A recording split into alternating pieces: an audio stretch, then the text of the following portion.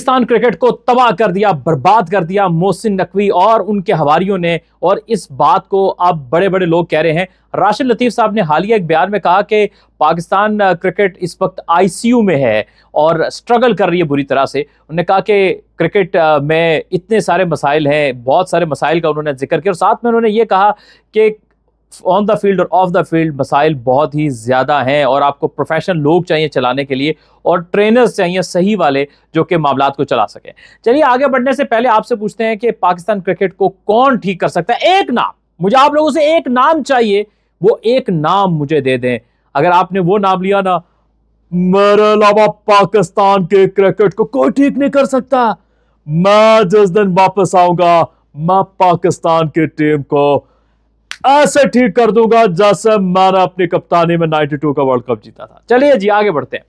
तो बहरहाल, राशिद लतीफ साहब ही नहीं, जो लोग क्रिकेट को समझते हैं जानकारी रखते हैं बारीकी से, उनको पता है ये क्या हाल कर रहे हैं। बाज़ार ये लोगों को नज़र आ रहा होगा, ये जी बड़ा टूर्नामेंट हो रहा है, हमारे स्टार्स वापस आ गए हैं, ये ऐसी बात है कि आपने ऊपर से ना घर को बड़ा अच्छा व्हाइट वॉश करने की कोशिश की अंदर से घर को दीमक लगी हुई है। आज मैं आपको रियलिटी बताऊँगा और रियलिटी बताऊँगा क्योंकि मैं इस बोर्ड को अंदर से जानता हूँ मैंने अपने चौदह साल दिए इस, इस सिस्टम को और मैं आपको रियलिटी बताऊँगा। कबूतर है ना जो बिल्ली को देख के आँखें बंद कर लेते उससे हकीकत तब्दील नहीं होती है। ये टूर्नामेंट एक धोखा है धोखा लीग जो अहमद शहजाद ने कहा ये धोखा है। ये कैसे धोखा है ये मैं आपको बताता हूँ। लीजिए जी राशिद लतीफ साहब की जो बात है कि वो इस बहुत ही जीरक आदमी है। He is brilliant analyst in Pakistan बहुत शानदार आदमी है, बहुत बैलेंस्ड आदमी है। वो कभी गलत बात नहीं करते, उनका एनालिसिस हमेशा फैक्ट्स एंड फिगर के ऊपर होता है। सिर्फ़ यही नहीं, पहले भी जितने क्रिकेट बोर्ड के चेयरमैन है, चाहे रमीज राजा से लेके, नजम सेठी से लेके जका अशरफ से लेके सबने अपने अपने तरीके का बेड़ा कर किया। इन, बात यह है कि जो क्रिकेट बोर्ड चलाने के लिए मैं बारह कहता हूँ कि ये पूरी दुनिया में एक मैनेजरियल जॉब है। जिसमें प्रोफेशनल लोग आते हैं जिनको एक बड़ा इदारा चलाने का एक्सपीरियंस होता है, साथ में क्रिकेट का पता होना चाहिए। सिर्फ़ क्रिकेटर होना भी काफ़ी नहीं है, क्योंकि ये मैनेजेरियल जॉब होती है। ये आप प्रूवन फैक्ट आगे चलते हैं। मोहसिन नकवी साहब ने पागलों की तरह पैसा बहाया चैंपियंस वर्ल्ड कप में, जिसका कोई फ़ायदा नहीं है।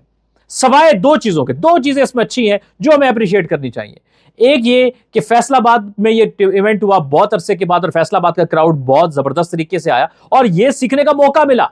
कि भैया, इन शहरों में क्रिकेट कराओगे जहाँ क्रिकेट नहीं होती तो वहाँ पर लोग ज़्यादा आते हैं क्योंकि उनको कदर होती है क्रिकेट की। जैसे आपके जो वेन्यूज खत्म हो चुके हैं, शेखोपुरा हो गया, सियालकोट हो गया, गुजरावाला हो गया, भावलपुर को बहाल करें, हैदराबाद को बहाल करें, पिशावर का स्टेडियम अभी कंप्लीट हो रहा है, वहाँ पे क्रिकेट बहाल करें। यानी अपनी क्रिकेट को जो खोलेंगे तो फिर आपको कभी मायूसी नहीं होगी, लोग आपको डिसअपॉइंट नहीं करेंगे। दूसरा कि आपके जो वो प्लेयर बहुत अरसे से डोमेस्टिक नहीं खेल रहे थे, वो यहाँ पर खेल रहे हैं। इसके अलावा तीसरी कोई अट्रैक्शन नहीं है।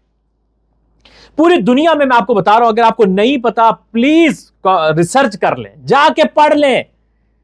हम तो वो कहते हैं कि इस दुनिया में सबसे मुश्किल काम आगाही होना है दोस्तों। आगाही होती है तो आप कोड़ते हैं। जब आगाही नहीं, आप कहते हैं वाह वाह मैं देख रहा था लोगों के कमेंट वाह जी वाह बड़ा अच्छा टूर्नामेंट आप ऐसी तनकीद कर रहे हैं। वो सर दुनिया को तो देखे, कहाँ जा रही है, कहाँ से अच्छा टूर्नामेंट आपको सौ रुपए दिए जाए और आपकी एफिशिएंसी पंद्रह रुपए की हो तो कैसे अच्छा टूर्नामेंट आप लोगों का कसूर नहीं है लोगों ने जानबूझ के आप लोगों को गुमराह रखा है। मैं हकीकत बताऊँगा आप लोगों को, मैं। मैं पूरी दुनिया में ऐसा नहीं होता कि पूरा टूर्नामेंट एक तो इतना सा टूर्नामेंट मुन्ना सा करा रहे हैं। दो तीन चीज़ें नोट कीजिएगा। एक तो यह कि टूर्नामेंट की टाइमिंग गलत है। बिल्कुल गलत है। दो टेस्ट सीरीज़ के बीच में आपका वनडे टूर्नामेंट का क्या काम है?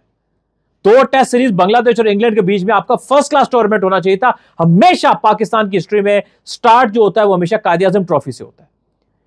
उसके बाद आप दो टेस्ट सीरीज़ के बीच में फ़र्स्ट क्लास क्रिकेट होती तो आपको फ़ायदा होता कि वनडे टूर्नामेंट हो रहा है तो आपको फ़ायदा होगा। ये टूर्नामेंट फिर इसके बाद एक और वनडे टूर्नामेंट और आगे होनी आपकी टेस्ट सीरीज़ तो आपके प्लेयर फ़र्स्ट क्लास खेलते हैं, वो टेस्ट क्रिकेट के लिए रेडी होते हैं वनडे क्रिकेट खेल के रेडी होंगे। और फिर जब चैंपियंस ट्रॉफी करीब आएगी, उसके तीन महीने पहले कोई वनडे का टूर्नामेंट नहीं है।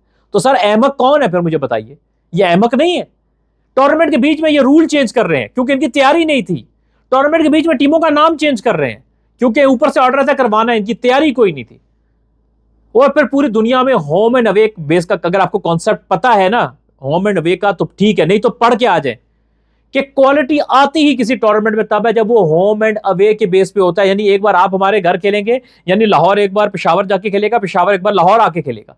ऐसे क्वालिटी प्रोड्यूस होती है क्योंकि ऐसी टीमें जो है वो एक टूर्नामेंट में मुख्तलिफ़ जगहों पर जाके खेलती हैं, मुख्तलिफ़ कंडीशन में खेलती हैं। मुझे बताएँ, एक टीम चार जगह पर जाकर डिफरेंट शहरों में खेलेगी डिफरेंट कंडीशन में खेलेगी, उसमें प्लेयर ज़्यादा स्किलफुल बनेगा या एक वेन्यू के ऊपर? आपको पता है जब एक पिच बार बार इस्तेमाल होती है, वो खराब होने लगती है। ये पूरी दुनिया में जब आपने कहीं बर्बादी करनी हो तो एक ही जगह पे सारे क्रिकेट कराएँ। और ये स्टाइल है पीसीबी का।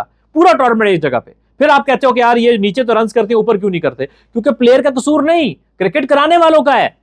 हम क्यों अहमक बनते हैं?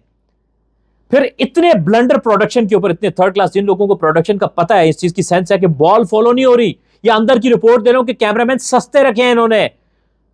और यार ये ऐसे जालिम लोग हैं, मैं आपको क्या बताऊँ? मैं अब अब तो मैं इनका पीछा नहीं छोड़ने वाला। मैं आपको एक एक स्टोरी अंदर की आउट करूँगा। अभी अगली वीडियोस में मैं आपको एक और स्टोरी लेके आऊँगा कि अंडर 90 टीम के साथ उन्होंने क्या अशर किया है, कहाँ पैसा बर्बाद किया है। मेरी अगली स्टोरी का वेट कीजिएगा।